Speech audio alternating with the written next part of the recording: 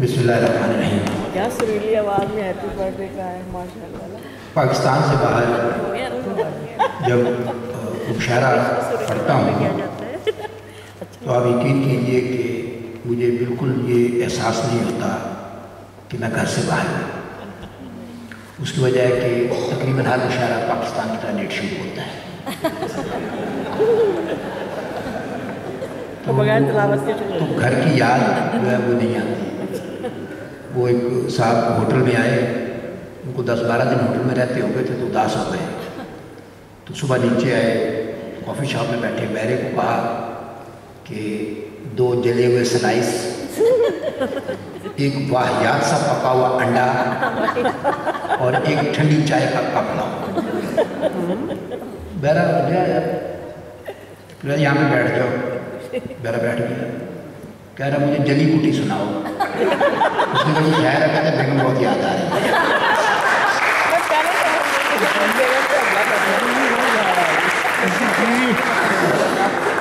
ये मुँह देखने की बात नहीं है, लेकिन मैं बिल्कुल ये ईमानदारी से बात कर रहा हूँ कि मैंने जो ज़िंदगी में बेहतरीन अपनी ज़िंदगी के यादगार मुशायरे जो पढ़े हैं, उसमें गलास्को का मुशायरा भी शामिल है।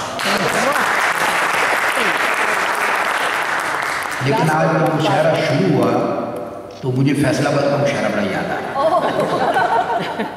वो चनाब क्लब में साबित मुशायरा था और मुशायरा जनवरी में था सर्दी पड़ रही थी और पूरा मुझे सर्दी का असर था मुशायरे भी था मुशायरा भी अलहमदिल्ला रज के ठंडा था। तो काफ़ी कोशिश की मुशायरे को तो एजाज आज़र स्टेज सेक्रेटरी थे तो उन्होंने कहा, जी, अब मैं दरख्वास्त करता हूँ खालिद मसूद साहब से कि वो आएँ और आकर मुशायरे को उठाएँ।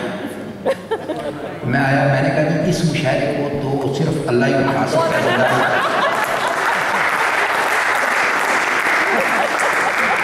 लेकिन खुदा का शुक्र है कि ये मेरा मुशायरा मेरे आने से पहले उठ चुका था।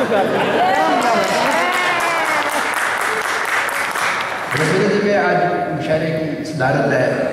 ये मेरा क्या तो रजाल की वजह से है। वो उमराउल के को किसी ने पूछा कि तुम कबीले के सरदार कैसे बने? तो उसने कहा, मेरे से सारे बड़े मर गए थे, मैं इसलिए सरदार तो सरदार बनने में वो खूबी नहीं में खूबी नहीं, कहा कि तो रजाल की वजह से मुझे सर- सदारत करनी अच्छा ये मुशायरे की सदारत है, ये बड़ी अजब सदारत है। जो मुशायरे का सदर होता है, ये सदर फजल लाई चौधरी और ममनू हुसैन से भी ज़्यादा माजूम और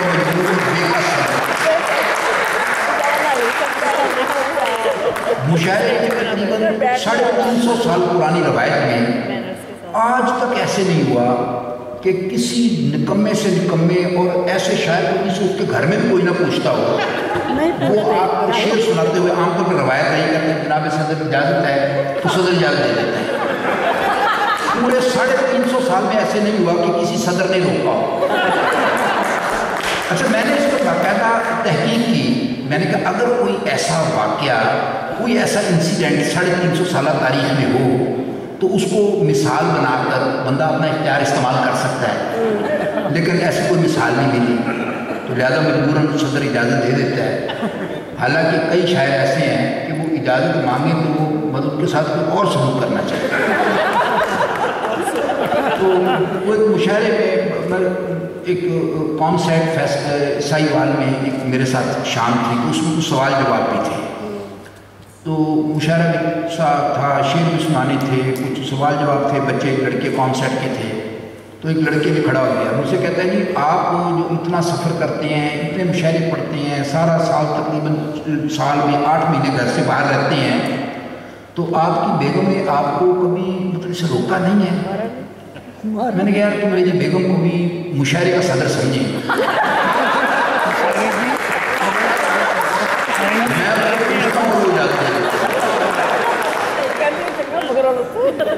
तो लेकिन गैर मतलब ये शायर होते हैं उनकी सदारत बड़े मज़ेदार उसमें वाक़ होते हैं। वो पाकिस्तान में एक बड़ी पुरानी बात है मुशायरा हो रहा था। और मुशायरे की सदारत एक जर्नल साहब कर रहे थे। अच्छा एक जर्नल अगर कोई पठान बैठा तो उससे माजरत के साथ एक जर्नल ऊपर से पठान।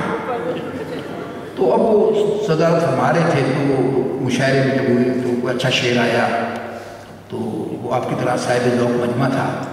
तो उसने कहा मुकर मुकर दो तीन बार मुकर मुकर कहा तो जनरल साहब ने ज़िंदगी में पहली बार मुशायरा देखा अच्छा। तो स्टेज सेक्रेटरी रात है कोई शायर मतलब थी तो उनसे पूछा कि ये जो मुकर्रर ये मुकर्रर मुकर क्या कहती हैं? ये जो सामीन है। उसने कहा जी मुकर्रर का मतलब है दोबारा पढ़े दोबारा पढ़े। जन सब बड़ा गुस्सा आया माइक उठाया। कह रहे ये जो शायर हैं ये आपके बाप के नौकर नहीं है। आप पहले बात को गौर से नहीं सुनते, फिर आप शायद दोबारा दोबारा तंग करते हो। तो जिसने सुनना है, एक बार शेर सुने गौर से सुने। सदर को उन्होंने कान में कहा कि, जनरल साहब, ये मुशायरे की रवायत है। अच्छा रिवायत है? है तो बड़ी हराम तो लेकिन चाहिए तो मगर मैं अब ज़्यादा लीड करने के बजाय मैं भी यही चाहूँगा कि जो शायरी इसकी जैसा आया हूँ सुनाऊँ आपको। दरम्यान में चलती रहेंगी चीज़ें।